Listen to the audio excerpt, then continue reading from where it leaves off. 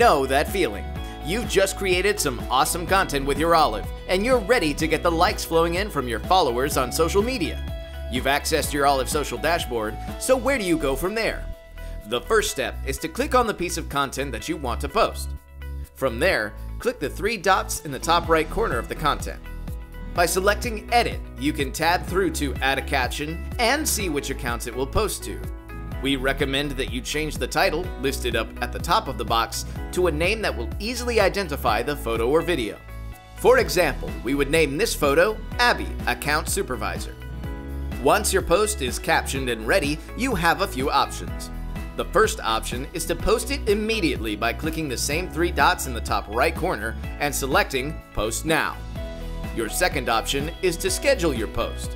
This choice is listed just below Post Now and will allow you to pick the date and time that you want the post to go out. A couple of things to look out for. If the circle with a check mark at the top of the box above your content is red, that means the content has not been approved yet and will not post. To approve it, simply click on the red circle to turn it blue and approve your post. And that's how to quickly get your content posted. Get your scrolling fingers ready, folks. If you have any questions, please reach out to us at 615 656 8551.